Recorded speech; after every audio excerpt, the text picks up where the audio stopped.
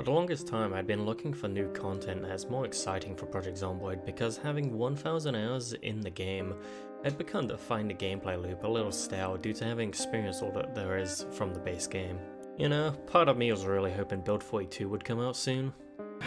一つチャンスをやろうその階段を2段降りろ再び私の仲間にしてやる逆に死にたければ足を上げて階段を登れ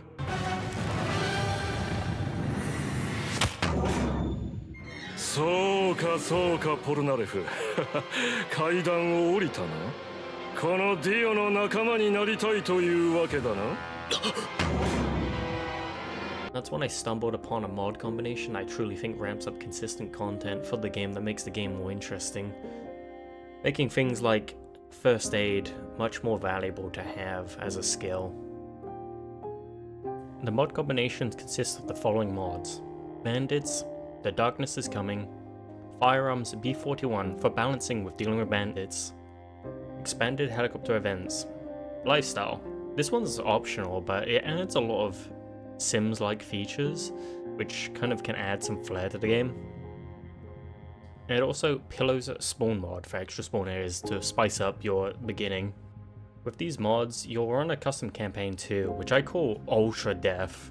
Using these following settings, you'll want to change Population, Ultra Population, Sadistic AI Director, Helicopter on often, Vehicles off, now meta events will still spawn cars, but it will make gameplay more difficult if you don't manage to come across one.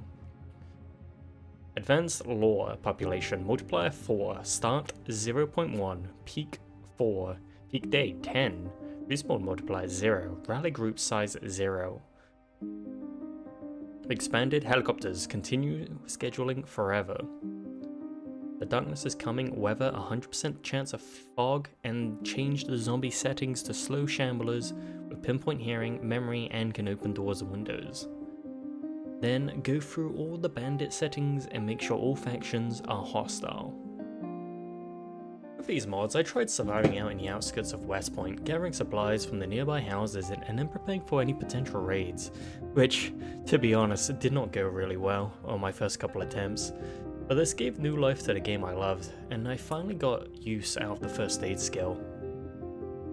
Let me know what you guys think, and, you know, this is how you died.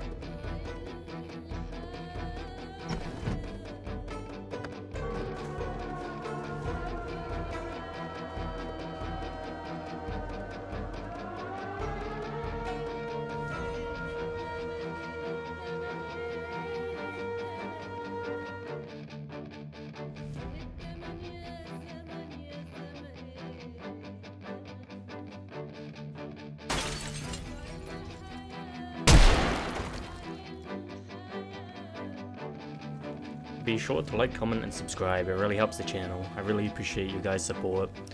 I'm gonna start trying to make videos more consistently because I've not really gotten around to doing that lately. But let me know what you think.